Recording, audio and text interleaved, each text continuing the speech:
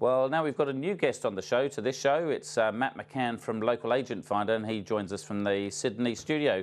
Welcome to the show, Matt. Thanks, Chris. Nice to be here. The way the service works is that a, a consumer or a property owner will come to um, onto the site, and what we'll do is do a detailed needs analysis. Now, that needs analysis will look at the nature of the transaction that you're looking for. Is it a rental? Is it a sale? Um, what you're looking for from an agent. So we start to some, look at some of the qualitative factors that people are looking for, and we have quite different types of customer groups.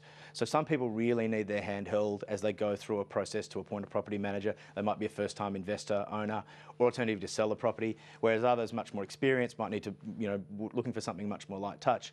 So we take those answers that come from consumers um, and then what we do is we compare what they've told us about the transaction with our network of 5,000 agents. And our proprietary algorithm then makes a recommendation.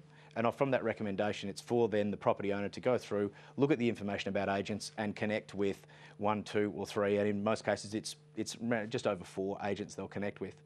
Um, that agent will then pick up that opportunity. They'll call the, the property owner. Um, they'll agree to meet, and ultimately, then that you know that property owner will will transact uh, and either list or sell their property through that agent.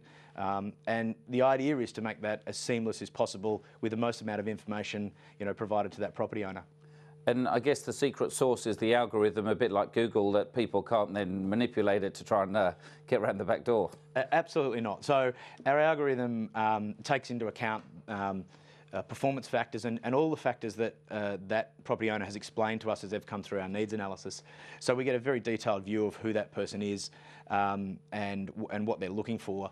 The algorithm then say, looks at particularly performance um, stats. So has that agent performed very well in the area in which we're looking, and then we marry that with what the consumer is looking for in terms of experience and make that recommendation um, the, you know, the, the, property owner then gets to spend some time looking at the data, understanding which agents are there, um, and then ultimately they'll select an agent to shortlist to put in in their lounge room so they can they can you know really go to that next level.